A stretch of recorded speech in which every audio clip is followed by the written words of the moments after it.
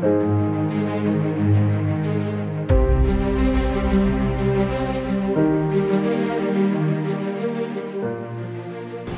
more than ever before, we must illuminate a vibrant new pathway to confront the huge challenges we are now facing. This is true with regard to ensuring sustainable development and leaving no one behind. One of you already said, nobody should left behind. Everybody should on board with the course of sustainable development. And we must do again much more to make sure that climate change would be, would be addressed by strong commitment of all the people around the world.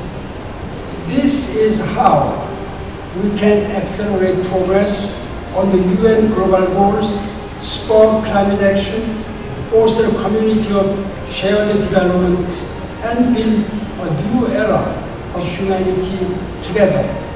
I will particularly count on China, China's continued support in this regard. Only together we can shape and contribute to a sustainable, peaceful, and prosperous future that brings benefits to all. So I have a very limited, limited capacity.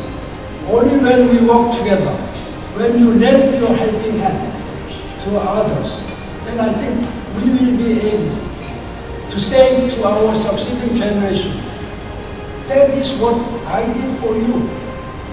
That's what I really tried to leave a better world to you. I hope that all of you will be able to say so to your grandchildren and other succeeding generation. I think that is your and my moral responsibility